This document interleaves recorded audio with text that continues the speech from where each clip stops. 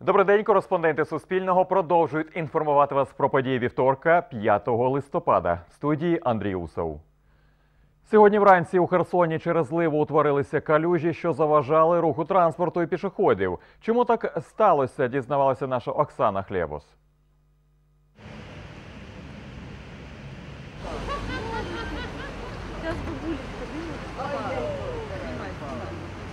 Перебуваємо на перехресті вулиць Ушакова, Кулика та Пугачова. За моєю спиною калюжа.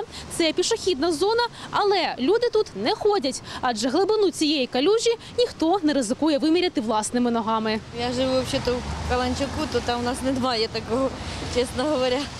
Ні, такого немає. Я думаю, що бюджет Вважаю, що у міському бюджеті на наступний рік мають виділити кілька мільйонів на все це. Ніхто не чистить лівневки. І на дорогах калюжі, і ось тут. От покажіть ось це море. На жаль, з собою човна не взяв, тільки ним можна пересуватися. Це пішохідна зона, яка знаходиться на іншому боці перехрестя. Ситуація схожа. Я проживаю в цьому домі е, вже з е, народження і знаю цей перехресток е, дуже добре. Завжди тут проходив дуже напружено, коли дощ, а навіть інколи переносив свою маму та сестру на руках. Сильно большая калюжа, ми там теж не можемо перейти. Тут теж ми не можемо ребенком перейти, того що каналізації не почищені, забиті, і ліду не можуть пройти. А так кожен раз воно відбувається. Просто мер нашого міста. Просто мер нашого міста любить плавати на байдарках. Мабуть, вирішив зробити для нас Венецію. От і все. Це калюжа на вулиці Зала Герсех. З дощем попадають е, в мережу е, насіння рослин, ґрунт, і е, для них сприятливі умови для проростання. Е, Ну, так як денег е, е, фінансування е, на послуги сторонніх організацій відсутні, і е, для того, щоб е, виправити ситуацію, ми були вимушені отак от розривати е, кожні 10-15 метрів трубу, знімати верхній шар труби, вичищати вручну її від коріння.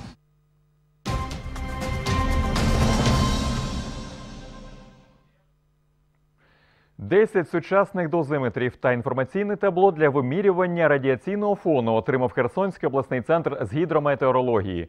Загальна вартість обладнання 230 тисяч гривень. Кошти на дозиметри надійшли з обласного бюджету. Табло придбали за рахунок міського, де застосують нові прибори, з'ясовували наші кореспонденти.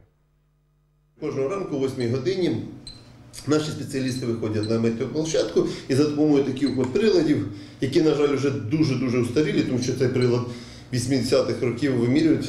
Це дозиметр е, практично мій ровесник. Він відпрацював всі можливі терміни, вони дуже часто ламаються, дуже, дуже часто дають, скажімо так, похибку, яка виклик- викликає певні тривоги. Тому що коли цей прилад щось з ним не так і він дає якісь не ті дані, то це звичайно, скажімо так, надзвичайна подія, з якою треба розбиратись. Ці дозиметри і морально, і фізично вже застаріли, і саме тому ми зверталися неодноразово до обласної ради, і в цьому році ми отримали ці, кошти, і це дасть змогу повністю перекрити всю область сучасним обладнанням. Ось такі от сучасні дозиметри стора, якими будуть обладнання всі е, наші метеостанції. Крім того, ми закупили 10 таких дозиметрів. В цьому році ми відкриємо ще одну станцію стрілкову. Поруч з новими дозиметрами і інформаційне табло. Показники з нього зможуть бачити усі херсонці. На жаль, радіацію не видно, не чутно, і всі хотіли би знати, що, що відбувається. Тому що це табло, яке буде, це професійне обладнання, воно стоїть практично 80 тисяч. Ми його придбали через Прозоро. Воно буде висіти у нас на приміщенні, і всі бажаючі в будь-який час зможуть бачити, яка ж е, доза радіаційного проміння зараз на території нашої, нашого міста. Разом з начальником гідрометцентру йдемо випробовувати обладнання. Локація перша – набережна парку Слави. Стела біля вічного вогню. Це якраз місце масового скупчення людей під час свят. Давайте якраз виміряємо, яка доза на цьому місці. Як ми бачимо, наш показник 0,19 мікрозібертів, тобто це 19 мікрорентген, все, що до 25, це, скажімо, допустима норма. Після 25 це вже перевищення. Тому можемо сказати, що в цьому місці людям знаходитись безпечно. Вимірюємо радіаційний фон і в центрі міста на вулиці Перекопській. Давайте зробимо заміри. Прилад налаштовується, зараз ми вже можемо бачити 0,16 мікрозібердів. Але дочекаємось, поки він повністю нала- налаштується.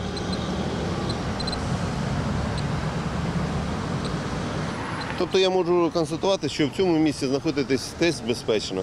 Юрій Кіріяк каже, вже найближчим часом на будівлі гідрометцентру на вулиці Перекопській буде розміщено інформаційне табло, на якому показуватимуть результати радіаційних замірів. Ксенія Сіліна, Володимир Чепинога. Новини на Суспільному. Херсон.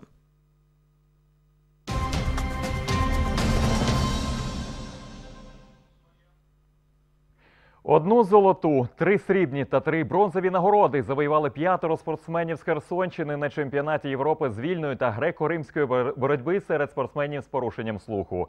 Сьогодні їх на Херсонському залізничному вокзалі зустрічала кореспондентка Суспільного Світлана Піцан.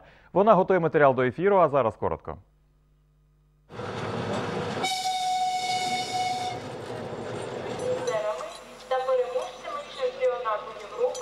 Хлопців та їх тренерів на вокзалі зустрічають рідні та друзі. Чемпіонат Європи з вільної та греко-римської боротьби серед спортсменів з порушенням слуху проходив з 28 жовтня по 3 листопада у білоруському Гомелі. Херсонщину на цих змаганнях у складі національної збірної команди України представляло п'ятеро спортсменів, які вибороли сім нагород. Змагання досить складні, е, високий рівень спортсменів, е, учасників, досить потужні команди приймали участь, такі як Росія, Туреччина, е, Болгарія, Португалія. Тому досить важко, важкі сутички, запекла боротьба була. Усі хлопці відборолись по 3-4 зустрічі і усі досить напружені. На цьому наш випуск завершено. Підписуйтесь на наші сторінки у соцмережах та каналу у Ютубі. Слухайте Українське Радіо Херсон. Заходьте на наш сайт КС Суспільне Медіа. А наступні новини на Суспільному о 17-й. Їх проведе моя колега Оксана Страмнова. А я з вами прощаюся. До побачення.